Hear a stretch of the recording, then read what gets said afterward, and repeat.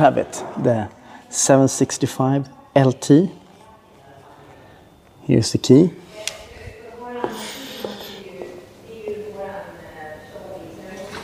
And what a car. Long tail, only maybe 54 millimeters longer than the 720, but 80 kilos lighter.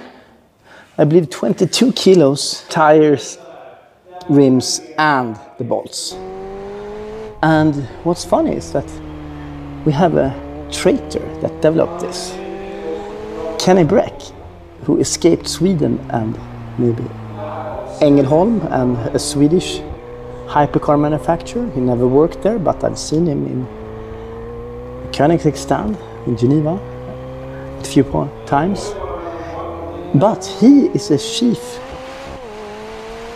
developer of this car, or like chassis developer, the guy who knew to get the right feeling. So I guess you can trust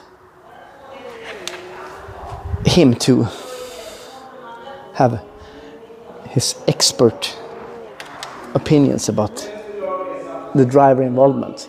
It's a funny story. I, I know I read that because he drove on, I believe it's on Spa, MP412C and uh, Ford GT40 from the 60s. And he said it's amazing how a car 40 years old have a much better feeling and communication than a modern McLaren MP412C.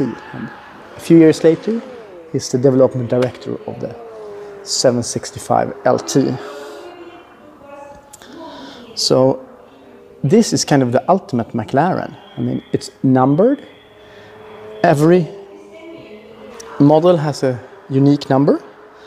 It's not just mass produced, it's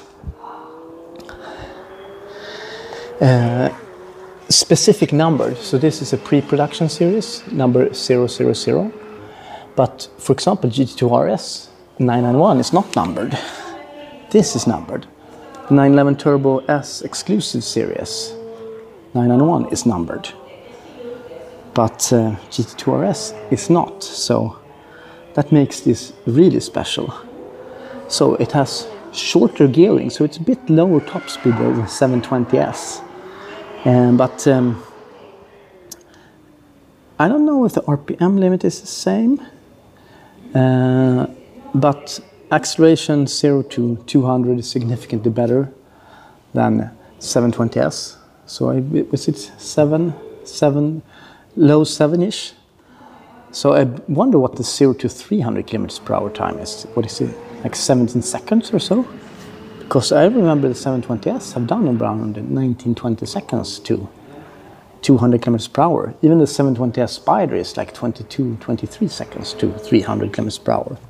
So this thing must be a monster.